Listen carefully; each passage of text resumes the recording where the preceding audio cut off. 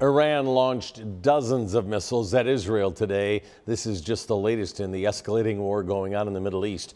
Rebecca Castor with how the world is responding.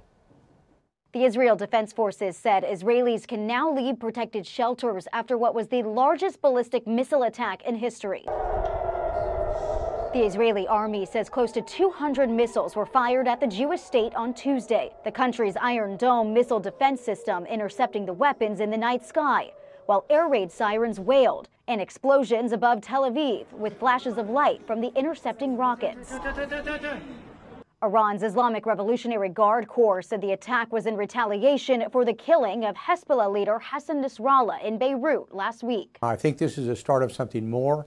It's going to be a little bit larger, and I think you have to expect that the Israelis will respond in a very forceful manner. The barrage of missiles from Iran comes a day after Israeli forces began ground operations in Lebanon. Israeli forces are trying to rid southern Lebanon of Hezbollah, so some 60,000 Israelis can go back to their homes near the border. We are declassifying a series of IDF operations conducted since the beginning of the war aimed at dismantling Hezbollah's terrorist infrastructure and capabilities. Nearly two dozen Lebanese border communities have been ordered by Israel to evacuate. The White House says President Biden has directed the U.S. military to aid Israel's defense against Iranian attacks and shoot down any missiles targeting the country.